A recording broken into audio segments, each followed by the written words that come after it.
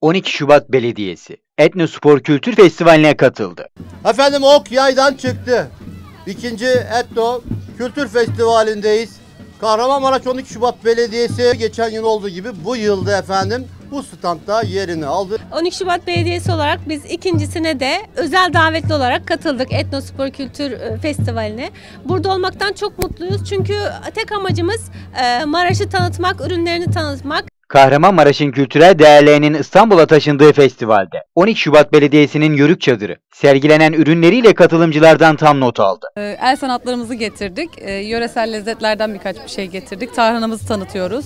Ee, Burada yöresel çöreğimizi biliyorlar mı? Ee, Bilmiyorlar. Biz onun yöresel cips olduğunu söylüyoruz. Türk dünyasına özgü geleneksel sporların sergilendiği festival renkli görüntülere sahne olurken Anadolu'nun her köşesinden festivale katılan şehirler yörelerine ait el sanatlarını İstanbullulara ve yurt dışından gelen turistlere sergiledi. bindallılarımız, başörtülerimiz, seccadeler, salon takımları, kutularımız her şeyden var. İstanbullular e, hepsini bu simsirma işlerimizi Nasıl, ilgi getirmiş. nasıl? Gayet Daha güzel çok hanımlar ve ilgileniyor. gençler ilgi gösteriyor Evet sanırım. genelde çocuklar dahi onlar da ilgi gösteriyorlar. Festivale katılan 12 Şubat Belediyesi de bakırcılık, ceviz oymacılığı, abacılık, sim sırma, iğne oyası, tarihi Osmanlı çarıkları gibi kültürel değerlerini katılımcıların beğenisine sundu. Ya gençler de geliyor yani bakıyor şöyle bir şaşırıyor. Her gelen bir takımla bir şeyler yapmaya çalışıyor. Güzel. İlgi güzel. Yani Kahramanmaraş olarak el sanatımızı burada. Evet Kahramanmaraş'ı burada efendim Tabii, temsil temsil ediyor el sanatlarıyla. İlgi mükemmel, ilgi alaka çok iyi. Özellikle gençlerin böyle tarihi meslekleri gördükleri zaman suratındaki şaşkınlık ifadesi ve bunları öğrenmek arzusu bizi çok mutlu ediyor. Yoğun bir ilgi var, yoğun bir kalabalık var. E biz de tabii ki bu durumdan memnunuz. Buraya geliş amacımız zaten mesleklerimizi tanıtmak, Kahramanmaraş'ımızı temsil etmek. 12 Şubat Belediye Başkanı Hanifi Mahçicek, festivalde Kahramanmaraş'ı en iyi şekilde temsil edeceklerini belirtti. Geçen sene de katılmıştık bu etkinliğe. Gayet güzel standımız, çadırımız ilgi görmüştü. Bu sene de aynı ilgi devam ediyor. Deriz ya, güzel laflar güzel yerlerde edilir.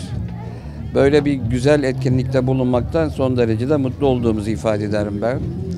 Gerçekten artık bu ülke hemen her alanda yani ekonomisinden tutun sosyal politikalarına kadar kendine dönüyor benliğine dönüyor ve geçmişine dönüyor diyelim. Gördüğünüz gibi çok ciddi bir katılım var.